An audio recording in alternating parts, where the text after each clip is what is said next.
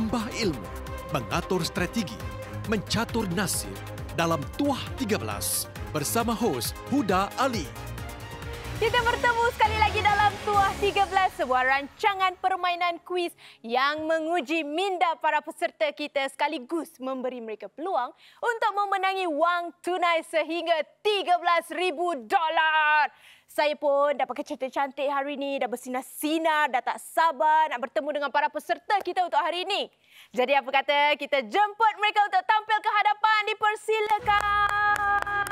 Oh, amboi, amboi. Ah, cantik eh semua. Bersiap sedia berapa lama rehearsal tu? Oh, sila perkenalkan diri anda. Saya Harmilia, seorang perunding eksekutif. Di masa lapang, saya dan family akan meneroka tempat-tempat baru di Singapura untuk melepak. Saya adik kepada Harmilia bernama Hardiana dan uh, pada masa lapang saya suka beriada dan bersukan bersama suami dan anak-anak. Saya Khairil, um, sepupu kepada mereka berdua. Um, saya bekerja sebagai pegawai pentadbiran dan uh, di masa lapang saya suka menghabiskan masa bersama anak-anak saya di kolom blok. Ah, selain dari beriadah, uh, bersukan bersama keluarga, apakah aktiviti yang unik? Kita Ah. kalau dah bertemu tiga orang, selain daripada mengulang kaji untuk tua 13 ni, Aha. kita suka bergosip. Oh, bergosip. Kan kan? Oh. Ahli masyarakat tingkap. Hmm. oh, saya pun suka juga. Makcik-makcik bawang, pakcik bawang satu. bergosip pasal apa tu? Kita suka stalk selebriti-selebriti Singapura. Ah. Salah satu daripadanya awak lah. Oh, ya, saya. Saya betul babit. Ah, bagus, bagus. Okey, siapa yang dilantik sebagai kapten hari ini? Saya. Okey, kakak sulung ya. Hmm, kakak sulung. menjadi kapten. Okey, kalau dah bersedia, mari kita lihat 8 topik yang dipertandingkan pada hari ini.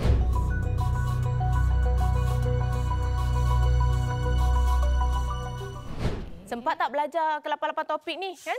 Sebab belajar sambil gosip kadang-kadang tak masuk. Ah. Imbas-imbas. Imbas-imbas. Imbas-imbas eh. Jangan risau. Di antara 8 topik ni anda diberi peluang untuk singkirkan dua topik yang anda tak nak yang anda tak ingini. Hmm. Kalau nak tahu cara-cara untuk singkirkan, mari kita saksikan video ini dahulu. Pemilihan topik. Setiap pasukan diwakili tiga anggota dan diketuai seorang kapten. Seorang anggota pasukan akan memanah dua nombor yang terkait dengan dua topik yang tidak diingini untuk menyingkirkannya. Namun, jika anak panah terkena pada topik yang pasukan mahukan, topik itu pula akan disingkirkan. Jika anak panah terkena pada bintang, pasukan boleh singkirkan mana-mana topik yang tidak diingini. Ha, itulah dia cara-caranya. Jadi anda bertiga dah diskusi yang uh, mana satu yang anda ingin singkirkan? Sudah. Yang mana satu? Yang nombor tiga dan nombor lima. Nombor tiga dan nombor lima, tokoh dan personaliti dan sihat segar. Kenapa kata suka beriada, bersukan, sihat segar nak singkirkan? Sihat segar Bila tu. kita bergosip, kita pun makan-makan. Jadi kita makan-makan tu kita tak sihat. Tak sihat sangat. Okeylah, jadi nombor tiga dan nombor lima, siapa yang akan memanah? Kai, sepupu kita. Okey, dah bersedia? Ingat eh, nombor tiga dan nombor lima. Okey, kalau dah bersedia, silakan. Come on, Kai. Kai, come on, Kai. Boleh, Tiga, Kai. lima, tiga. Oh, memang sangat tepat walaupun hampir tu nasib memang menyebelahi anda ya. Jadi nombor tiga dah selamat. Seterusnya adalah nombor Lima. lima. Kai, kai, kai. Kai. Boleh lah, Boleh, boleh. Kai. Oh, sangat-sangat pada sasaran. Ah, dan inilah dia enam topik yang bakal dipertandingkan pada malam ini. Singapuraku, alam kita, warisan Nusantara, detik sejarah, persada hiburan dan juga jelajah dunia. Happy? Happy. Jangan risau. Anda bukan bertiga. Anda akan diberi peluang untuk memilih seorang selebriti simpanan Tuah 13 hmm. untuk membantu anda menuju ke arah wang tunai sehingga 13,000 dolar tu. Kalau dah tak sabar, mari kita menjemput selebriti-selebriti simpanan Tuah 13. Dipersilakan kawan-kawan saya. Pak tu, saya tak tahulah kenapa dengan kaki mereka. Itu dia. Sila menawan mereka, selebriti-selebriti. Silakan Norman. Baiklah, saya mulakan dengan pantun ya. Buah sintang, buah senikol. satu memegang, satu memikul. Pilih Norman, pilihan yang betul. 13,000 pasti dirangkul. Oh, dirangkul. Nampak tu. Bahasanya dahsyat sungguh. Uh, Izen? Ah saya tak ada apa-apa lah yang nak yang nak dipikul. Ah tapi ah saya hari ni pakai macam skirt kembang sikit. Ha. Ah jadi sama-sama kita kembangkan otak kita lah. Ah untuk jawab soalan-soalan kat sini. eh. Ah, jambul bikau pun dah sekembang. Kembang juga, semangkuk di kembang juga. Okey, Hairul pula. Silakan. Ya, uh, inilah semangat saya yang membakar untuk bantu anda untuk capai sasaran dapat RM13,000. Uh, jadi pilihlah saya untuk membantu anda. Eh? Okey. Ah, nampak tu. Wow, macam ejen hartanah. Saya rasa eh Hairul Anwar menjual tu. Wah. Ah, Fatin, Fatin silakan Fatin. Kalau Izan rambut kembang, ini saya boleh tendang. Hari ini rambut saya kerinting. Rambut duit anda mesti berkeping-keping.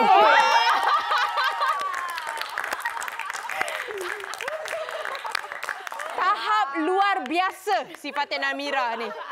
Ya, jadi kami serahkan pada anda bertiga untuk memilih siapakah pilihan hati anda. Um, Antara empat. Antara empat. Siapa korang rasa? Saya... Okey. Pergi memancing di hulu. Langat. Fuh. Umpan dipasang. Terlebih dahulu. Kami bertiga dah sepakat. Memilih Norman untuk membantu. Alamak, Norman! Dalam banyak-banyak kumpulan, bukan aja anda yang hati mereka, mereka pun tawan hati anda Itulah dengan dia. berpantun juga. Terima kasih sangat-sangat. Wah, ni dah macam program uh, lawan-lawan pantun, Pantun. je. ah, nampak gayanya baju Norman pun dah sepasang dengan anda semua. Ah, itulah. Memang berjanji ke? Anda berempat ni? Telepati. Telepati. Ah, okey okey okey. Orang-orang bijak memang macam tu, ya. Mari kita lihat kebijaksanaan mereka selepas ini dalam Tuah 13.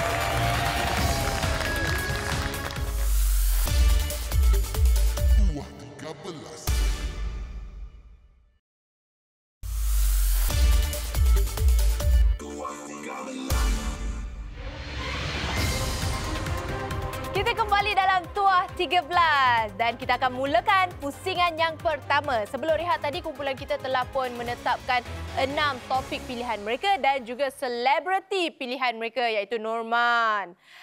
Dah bersedia semuanya? Sudah. Dah. Sedia ke nervous? Semua muka nervous saja. Dah bersedia ke belum? Sudah. Okey, mari kita lihat sekali lagi enam topik yang dipertandingkan. Itu dia Singapuraku. Alam kita, warisan Nusantara, detik sejarah, persada hiburan dan juga jelajah dunia. Kalau dah bersedia, mari kita saksikan dahulu cara-cara permainan untuk pusingan yang pertama. Silakan. Pusingan pertama. Peserta harus menjawab enam soalan. Setiap soalan ada enam pilihan jawapan. Dalam pusingan ini, setiap anggota akan menjawab secara individu. Jawapannya tidak akan dapat dilihat oleh anggota yang lain. Satu bintang akan diberikan untuk setiap jawapan yang betul. Setelah menguncikan jawapan, kapten pasukan akan memilih anggota yang berpotensi memberikan jawapan yang betul. Jika anggota yang dipilih dapat jawapan yang betul, pasukan akan mendapat satu bintang tambahan. Pasukan berpotensi mendapatkan 30 bintang dalam pusingan ini. Mereka layak untuk memenangi $1,500 dolar sebaik sahaja 10 bintang dapat dikumpulkan. Atau $2,000 dolar bagi 13 atau lebih bintang yang dikumpulkan. Pasukan diberikan 15 saat untuk pilih jawapan bagi setiap soalan. Semoga berjaya. Itu dia kumpullah seberapa banyak bintang yang anda boleh. Dah bersedia ya? Mari kita mulakan pusingan yang pertama dengan soalan pertama dalam topik Singapuraku. Stesen MRT manakah yang paling dekat dengan Museum Negara Singapura? A. Stesen MRT Fort Canning B. Stesen MRT Bencoolen C. Stesen MRT Dhoby Ghaut D. Stesen MRT City Hall E. Stesen MRT Bras Basah F. Stesen MRT Esplanade 15 saat anda bermula dari sekarang.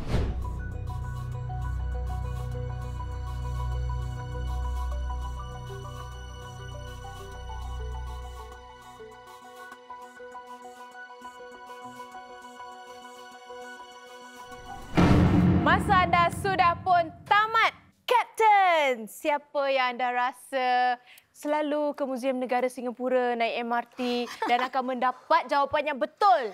Adik saya. Pasal dia suka bawa anak dia pergi muzium. Ya, Mm-mm, Hardiana. Iaitu Hardiana. Hardiana memilih B, Bencoolen. Pernah tak naik MRT pergi ke Muzium Negara Singapura?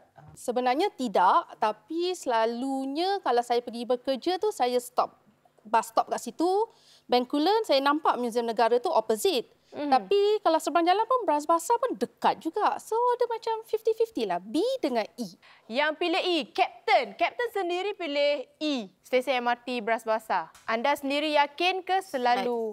Saya rasa Bras Basah pasal kalau Bras Basah habis cuma seberang jalan tu je dah Muzium Negara. Kalau selebriti? selalu naik MRT? Kalau saya, saya sebab saya selalu ke SMU. Ha. Dan yang S, apa SMU tu Bras Basah lah, Bras Basah di mana pada saya itulah yang paling terdekat sekali dengan uh, Museum Negara kalau nak pergi Museum Negara. Sebab naik aja terus seberang jalan dah hmm. Museum Negara. Jadi kalau jawapan Hairul adalah stesen Bras Basah, stesen MRT Bras Oh, oh. Basah. Mari kita saksikanlah jawapannya, ya? Jawapannya adalah E, stesen MRT Bras Basah. Maknanya Captain dan juga Norman dapat betul. Captain tadi kata tahu pilih Alah, Norman tahu lah. pilih Norman lah. tidak mengapa, tidak mengapa. Mari kita lihat jumlah bintang untuk soalan yang pertama.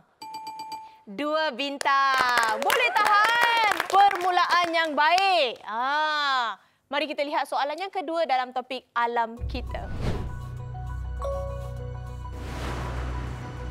Haiwan laut apakah yang paling berbisa di dunia? A. Pari bintik biru B. Ikan batu C. Sotong kurita gelang biru D. Ikan buntal E. Ular laut berparuh F. Ampai-ampai kotak Lima belasan anda bermula dari sekarang.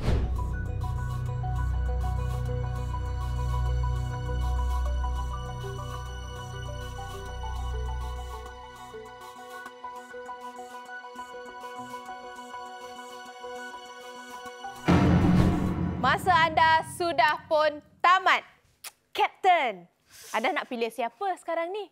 Saya terpaksa pilih adik saya lagi sekali pasal dia pernah bekerja di uh, Underwater World Singapura. Oh. Ha. Yang dipilih adalah B, ikan batu. Kenapa anda pilih B, Hardiana? Itu yang paling terdekat lah. Yang saya ingat-ingat lupa lagi pun Underwater World tu pun dah dah bungkus pun dah tak ada. Kalau Norman pula, anda jawab ampai-ampai kotak. So biasa box jellyfish tu macam kalau selalunya macam kita tahu kita kena elakkan daripada box jellyfish tu sebab uh, sangat berbisa. Hmm. Tapi saya tak tahu kalau ampai perkotak tu yang paling berbisa di dunia saya tak pasti. Kalau selebritis, apa tu puffer fish kan orang Japanese kalau makan sashimi kalau dia salah potong dia makan tu dia boleh mati yang lain tak mati kot ikan buntal yang ni makan mati terus kalau salah makan jadi mungkin dia pun paling berbisa lah mungkin ah. eh, mungkin. Tapi kita lihatlah jawapan yang betul. Nampaknya Norman lah yang betul. Ha, kalau awak nak tahu, ampai-ampai kotak dijumpai di perairan Australia. Hmm. Itu dia. Jumlah bintang yang dikumpulkan dalam topik alam kita adalah satu bintang. Tidak mengapa. Kita ada banyak lagi soalan. Empat lagi. Mari kita lihat soalan yang ketiga dalam topik warisan Nusantara. Dalam bahasa Melayu terdapat perkataan-perkataan yang merujuk kepada bunyi-bunyian yang dihasilkan oleh haiwan. Contohnya mengaum untuk singa. Apakah perkataan bagi bunyian yang dihasilkan lembu? A. Berkokok B. Mengembik C. Berdesis D. Melengung E. Meringkik F. Berkicau Lima belasan anda bermula dari sekarang.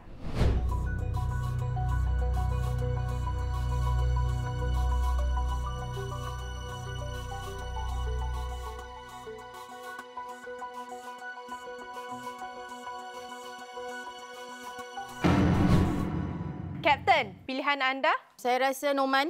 Norman. Kita tanya Norman dululah. Ya. Kenapa anda pilih D? Saya pandai berpantun tapi bunyi-bunyi haiwan ni kurang sikit.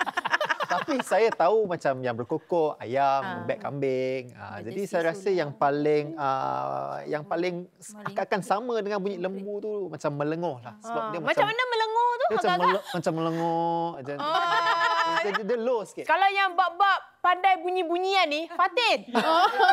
Betul kan? Betul. Fatin, kalau berkokok macam mana bunyinya? Aku. Ah, kalau mengembek macam mana? Ah, kalau berdesis? Ah, macam cheese gitu. Okey, yang ini. Kalau melenguh?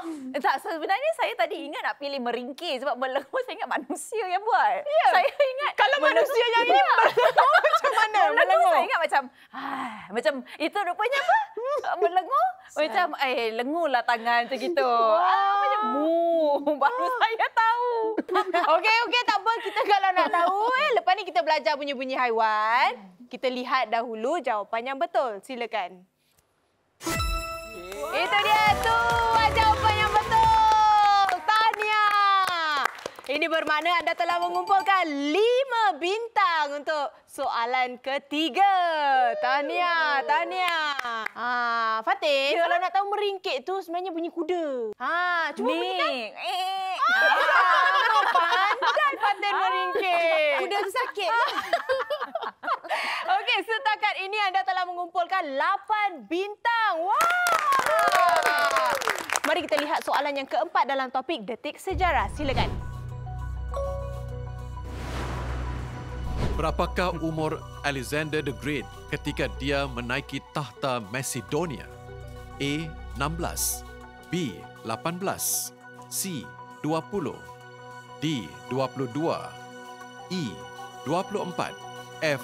26 15 saat anda bermula dari sekarang.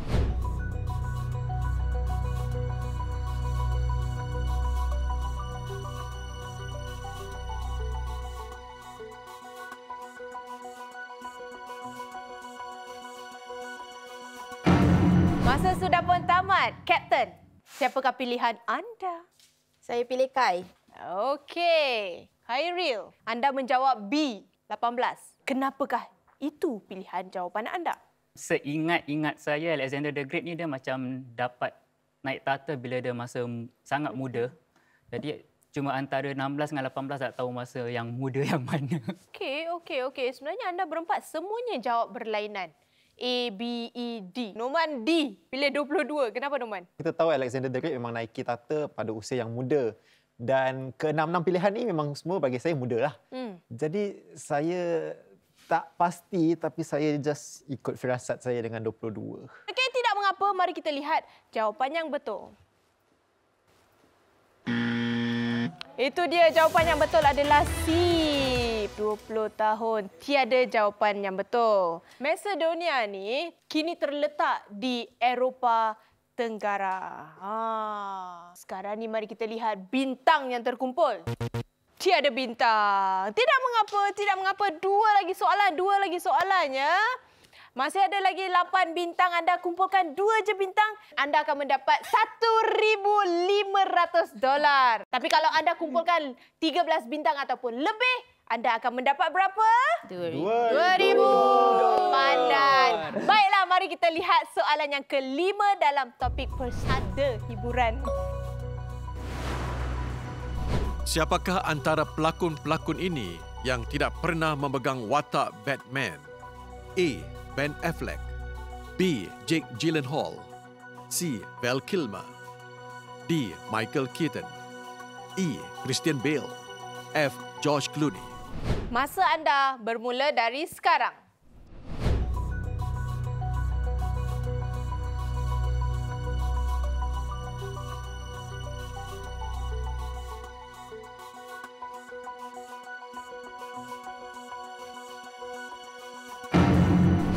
Masa anda sudah pun tamat. Captain, siapakah No. pilihan anda? Saya pilih Norman. Norman, bila anda Norman. pilih Norman je dia macam ah, saya tahu jawapannya. Norman, confident ke dengan jawapan anda B? Uh, saya uh, agak yakin dengan jawapan B. sebab saya masih saya boleh masih boleh ingat lagi wajah-wajah yang lain semua dalam suit Batman tu. Eh, saya ingat Jake Gyllenhaal seorang yang tak pernah. Oh. Sebenarnya Khairil dan Norman jawab sama. Hardiana dan Harmila jawab sama juga. Mari kita lihat jawapan yang betul.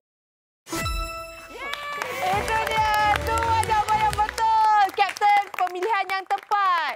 Ini bermakna anda telah mengumpulkan tiga bintang. Ha, dan sekaligus anda telah mendapat berapa? 1,500. Okey, satu lagi soalan yang terakhir, okey? Ingat, kumpul 13 bintang atau lebih, boleh up lagi duitnya ya. Mari kita lihat soalan yang terakhir dalam topik jelajah dunia. Silakan. Pocha atau teh mentega dihasilkan dengan memasak garam dan mentega dalam air teh. Minuman tradisional ini berasal dari negara mana?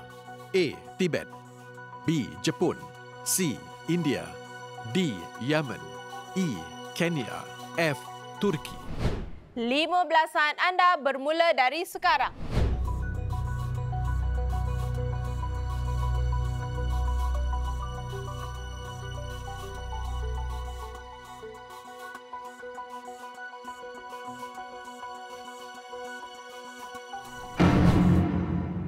Masa anda sudah pun tamat. Kapten, siapakah pilihan anda? Saya pilih Norman sekali lagi pasal dia pernah menjadi pramugara kan. Jadi dia agaknya tahulah kat mana ni. Nampaknya awak memang stalker eh. Selebriti-selebriti Singapura ni. Seram juga eh. Ha, sorry lah Numan dah terbuka ah, rahsia anda. Ah, tak apalah. Bekas kan bekas. Bekas. Sebenarnya bila anda siapa pun anda pilih, mereka bertiga semua pilih sama A. Kecuali anda pilih C. Sebelum saya tanya anda, kita tanya Norman dulu. Anda yakin? Uh, untuk maklumat semua, uh, saya memang tak minum teh. Uh, Hmm. Teh kopi saya tak boleh minum. Mhm. Jadi saya kurang pasti dengan pasal-pasal teh ni lah. Mhm. Tapi saya rasa dalam uh, semua pilihan jawapan ni, saya rasa macam pocha tu macam paling dekat dengan Tibet. Jadi saya sebab tu saya pilih A. Hardiana setuju? Saya rasa memang A pasal saya terlihat kawan saya memang sekarang dia ada di Nepal. Dia tak salah saya lah. Saya nampak tu pocha. Dia lagi tengah membancuh teh tu. Kalau Kapten, kenapa pilih C India, Kapten? Pasal saya rasa orang-orang India suka minum teh. Diorang chai kan, chai. Jadi pocha, chai. Ada dia punya bunyi je macam sama itu. Mari kita lihat jawapan yang betul. Dua jawapan yang betul. Wow. Ha, bila kita cakap pocha ni, teh pocha ni dapat kuatkan otot dan juga tulang untuk masyarakat Tibet ha, yang bekerja di dataran tinggi. Ini bermakna anda telah mengumpulkan empat bintang. Dan jumlah keseluruhan 15 bintang dan wang tunai yang anda menang untuk pusingan yang pertama ini adalah RM2,000. Happy? RM2,000? Okey, kita akan berehat seketika. Kasih anda rest untuk pusingan yang kedua. Okey, kita akan kembali selepas ini dalam Tuah 13.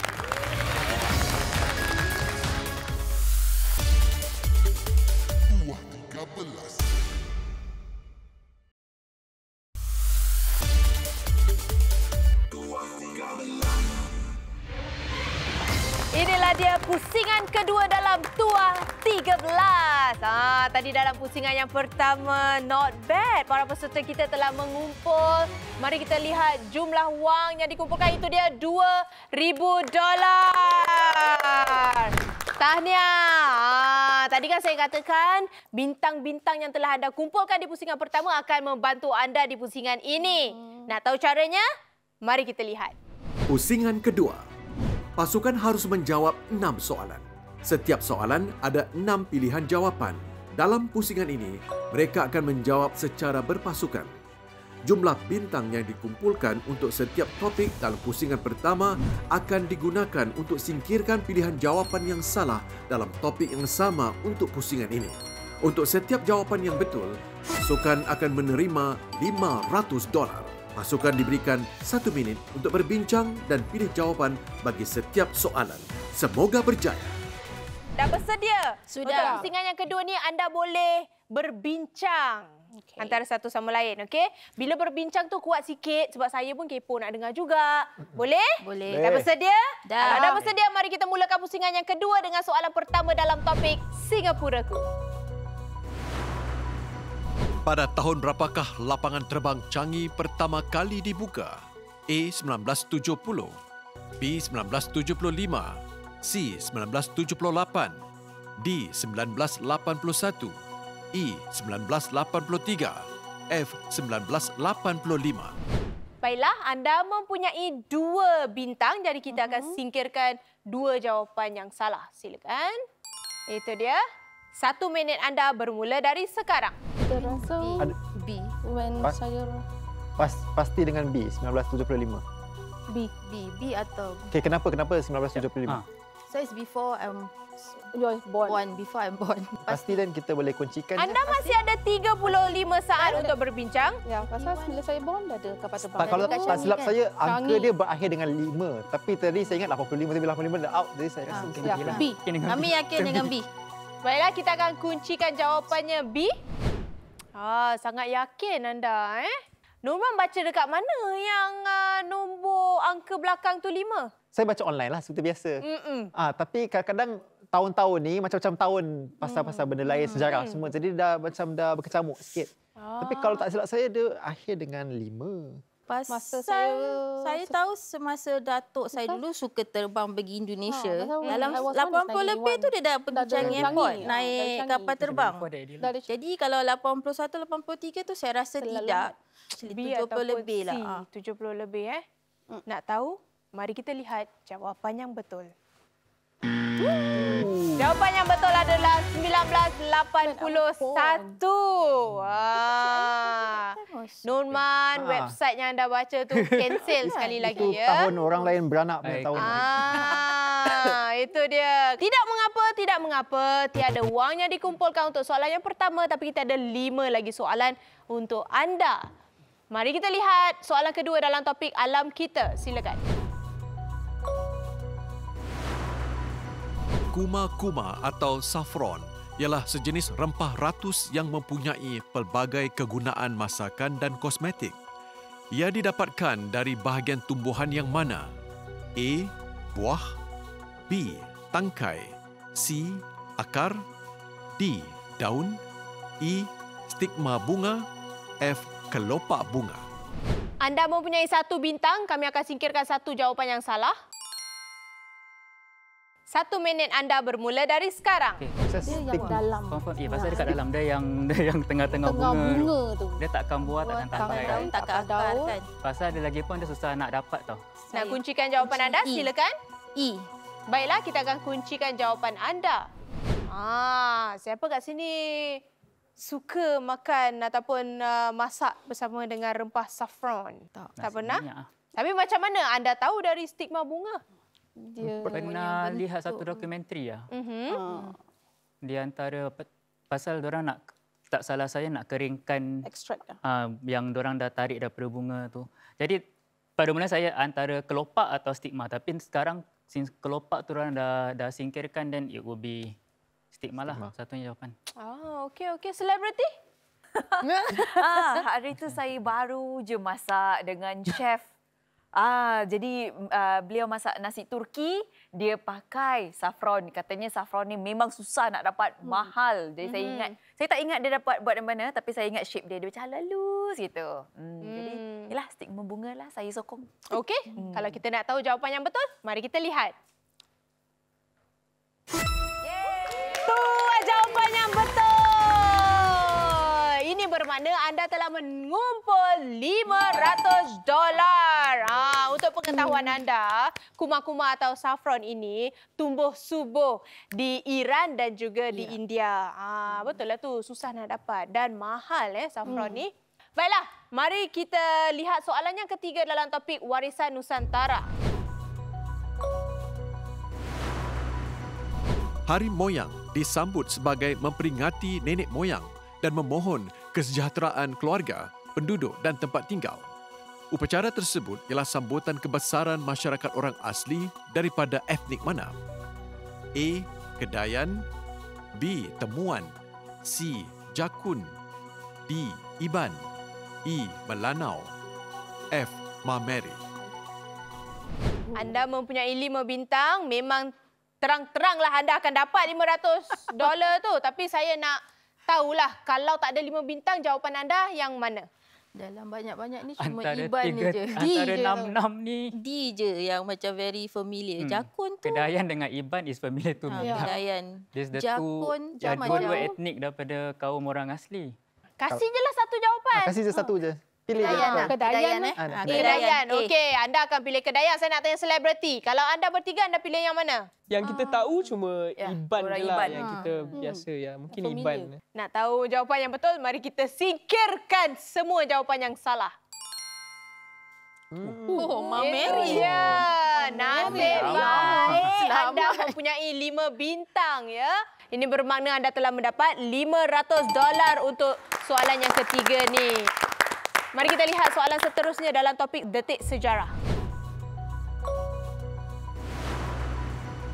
Pada tahun berapakah penjajah British mula menakluk Australia yang ketika itu majoriti penduduknya orang asli?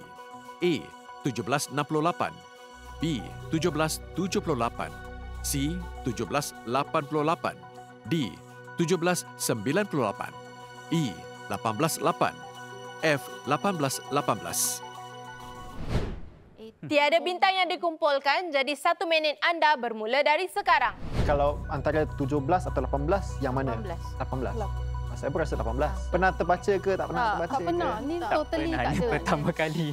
Saya macam F tapi saya tak F. nak tak, tapi tak, saya tak pasti. Saya, Saya pun tak pasti. F, F. Kau E, F, right? Ah, F. Since ikut F. ada dua orang cakap Ikutlah. F, saya Ikut apa yang rasanya ikut. Lima perasaan saat orang. lagi. F.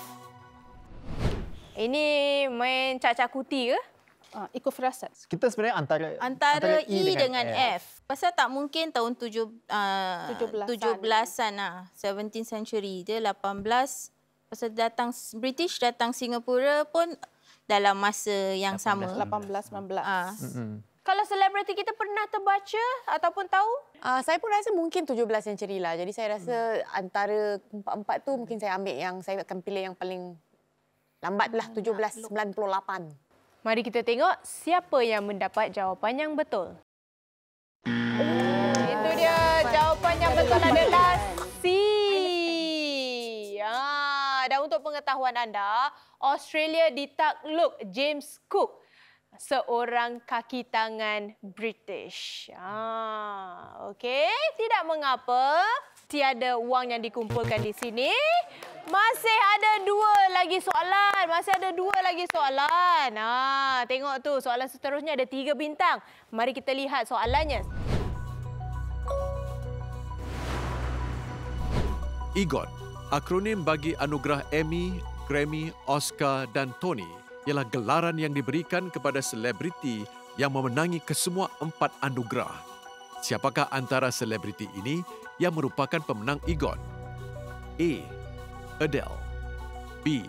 John Legend C. Lady Gaga D.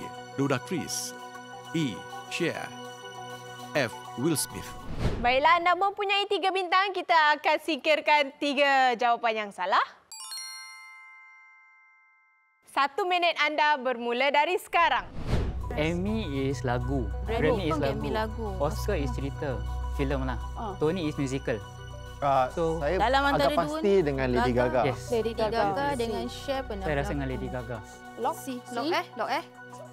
Lock. Ah, Kai? Saya rasa Kai. Lady Gaga lah. Antara Lady Gaga dan Okay. Cher lah. Tapi saya E, C or E. 15 Eh. saat lagi. Saya lock C lah. Baiklah, Lady Gaga. Hmm. Kenapa pilih Lady Gaga? Pasal John Legend tu out. Dia tak pernah berlakon. Antara C dengan E. Pasal Cher pun pernah menang. Kita punya Hmm. sependapat more tu Lady Gaga lah. Tapi soalannya, dia tak cakap tentang lakonan sahaja atau nyanyian saja. Ha, dan setiap anugerah tu ada macam-macam kategori. Selebriti, kalau anda bertiga, mana satukah pilihan anda? Sebenarnya saya pun tertarik dengan Lady Gaga sebab uh, memang dia punya pencapaian dia memang banyak lah. Lepas tu fikir-fikir balik John Legend pun boleh tahan sebenarnya. Uh, cuma saya tak pasti kalau dia pernah menang Tony hmm. ke tidak. Mari kita lihat jawapan yang betul. Hmm. Itu dia. Jawapan yang betul adalah B. Ha. Tidak mengapa, nampaknya tiada wang yang dikumpulkan untuk uh, soalan yang kelima. Ada soalan yang terakhir dan soalan terakhir ni ada ada empat bintang. Mungkin peluang, peluang ada peluang di situ. Ya, mari kita lihat soalannya.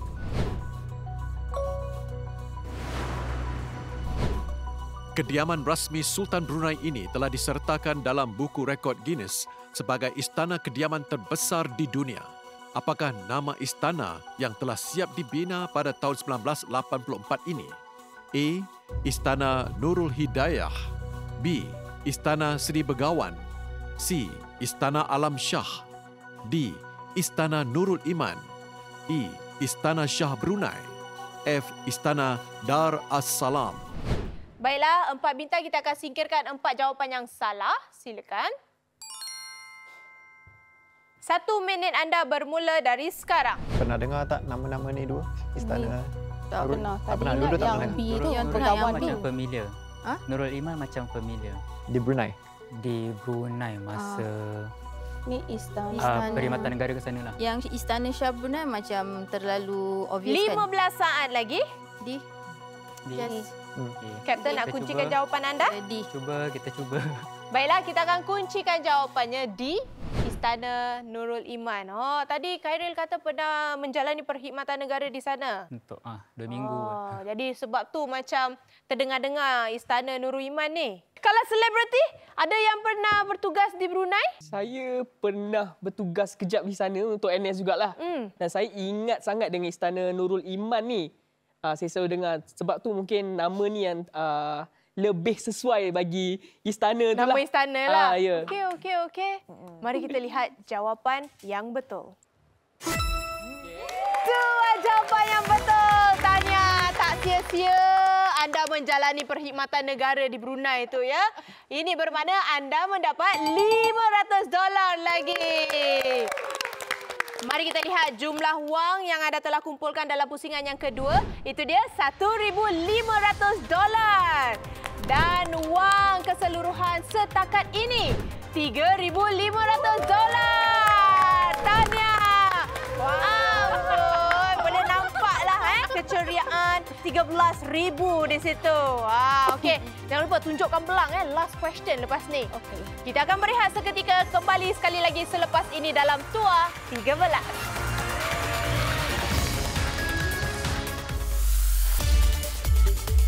Tua 13.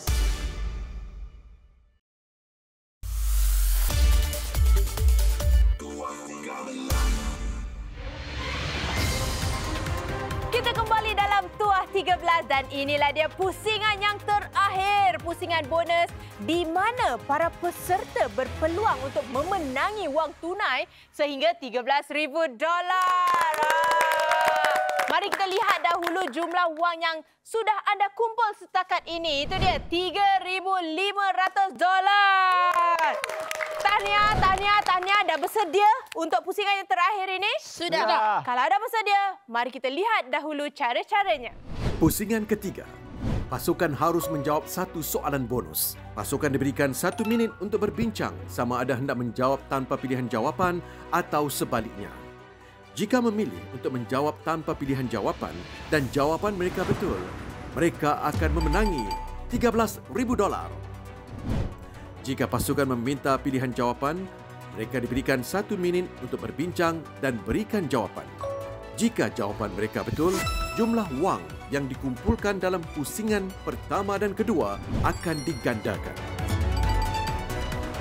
Pasukan diberikan satu minit untuk berikan jawapan bonus. Semoga berjaya. Ya, jadi semoga berjaya untuk anda. Dah tahu uh, cara-caranya, jadi siapa yang dilantik untuk memanah? Kai. Kai lagi. Okey, jadi anda dah tahu nombor berapa anda nak panah? Tujuh. Tujuh. Okey, kalau dah bersedia, silakan Khairil. Kai, Eh, can do it, Kai. Kai. Kai. Aim, aim. Tujuh. Oh. Oh. Oh, lebih ke tujuh lah saya tengok tu. Tapi, Tapi bila anda pilih nombor tujuh tu sebenarnya topik yang mana anda inginkan? Kalau boleh antara... Yang sejarah tu lah kalau boleh eh. Hmm, tak nak Wah, sejarah. Apa-apa semua boleh, tapi tak nak sejarah. Tak nak sejarah, apa-apa pun ha. boleh. Tak nak sejarah. Ah, Kalau anda nak tahu topik nombor tujuh tu adalah detik sejarah. Topik yang anda tidak inginkan. Tapi tidak mengapa, mana tahu soalannya anda tahu. Silakan, Kapten. Ambil kad nombor tujuh tu. Ah. Tak mengapa, tiup-tiup sikit, Kak. Tiup-tiup, kad tu. Hmm. Kalau dah bersedia, mari kita sama-sama lihat soalannya. Sila buka. Sukan Olimpik musim sejuk diadakan pertama kali pada tahun 1924. Negara manakah yang menjadi tuan rumah Sukan Olimpik musim sejuk ini? Baiklah, satu minit anda bermula dari sekarang. This year was Beijing, right? Ni ni Beijing. This year Beijing. Tahun Yang, yang tahun ni Beijing yang akan First kali ke Beijing. tahun, Yang first, tahun yang first. 1924. Dan antara Russia, Switzerland, Dan negeri choice. yang lebih banyak salji. Anda harus berikan keputusan inginkan pilihan Ha. jawapan ataupun nak jawab terus. Kalau nak jawab terus, anda harus Nak jawab pilihan sebelum jawapan? 20 saat ini. Pilihan, Pilihan, jawapan. pilihan, pilihan jawapan. Pilihan. Baiklah. Kita tamatkan masa. Kami akan berikan enam pilihan jawapan. Silakan. A. Itali B. Norway C. Sweden D. Iceland E. Perancis F. Britain Satu minit anda bermula dari sekarang. Britain out. Sweden. Sweden, Kakak rasa yang mana satu? Iceland, Rasa, rasa. Iceland. Iceland atau Norway. Okey, yang saya tolak 30 is Italy saat dengan lagi. Perancis. Tu saya tolak. Norway bukan. Sweden, Maybe. Norman. Sweden, rasa Si, si, Sweden, Sweden. tapi tak pasti. Lima saat lagi, Sweden Kapten lah. harus Sweden. kuncikan Sweden. jawapan Sweden. anda. Sweden dengan sebulat kata kita kat Sweden. Baiklah. C. Sweden. Panas, Kak? Panas, sejuk. Soalan sejuk Ah. panas ni. Biasa memang macam tu. Soalan-soalan berjumlah 13,000 ni memang panas. Ah, tapi kenapa anda pilih Sweden? Pasal yang Britain tu out, Italy pun tak mungkin, Norway pun tak mungkin. Dia actually antara Sweden dengan Iceland. Pasal Iceland Tempat yang ada pada salju. ada salji. Sweden pun dia ada tempat satu tempat yang northern area yang untuk ski yang very popular. Kalau selebriti bagaimana? Sebenarnya saya rasa di antara Perancis dengan Britain. Sebab uh, tak semestinya Sukan Olimpik musim sejuk mesti dekat negeri yang sejuk je lah. Uh, Britain pun boleh ada masa winter, Perancis pun ada winter. Perancis sebab saya fikirkan mungkin the French Alps. French Alps kan? Kalau saya antara E atau F, Perancis atau Britain juga. Bila dah dengar uh, pendapat selebriti kita, agak-agak anda ada rasa menyesal di situ? Sikit. Saya sebenarnya antara Sweden dengan Perancis. Tapi bila tak ada orang sebut Perancis terus, jadi saya macam oh mungkin salah lah. jadi macam semua macam rasa-rasa Sweden dan saya ikut. Okeylah. Tengok Apa je. lah. Kita tak payah bermain teka-teki Ah, lagi. mm-mm. Mari kita lihat jawapan yang betul. Jawapannya adalah E. Perancis. Hampir-hampir di situ Nurman ya. Tadi kalau anda sebutkan pendapat anda mungkin mereka akan uh, consider. Mungkin. Ah. Ah. Apa, tak apa. Jadi betul kata Izian tu tadi. Ah, Alps. ia diadakan di French Alps di Perancis. Itu dia wang yang bakal anda membawa pulang pada hari ini adalah 3500 dolar. Boleh tahan. Tahniah sekali lagi. Baiklah, pada minggu hadapan satu lagi kumpulan akan mencuba nasib mereka untuk merebut peluang untuk memenangi wang tunai sehingga $13,000 dolar. Jadi bersama kami pada minggu hadapan dalam Tua 13.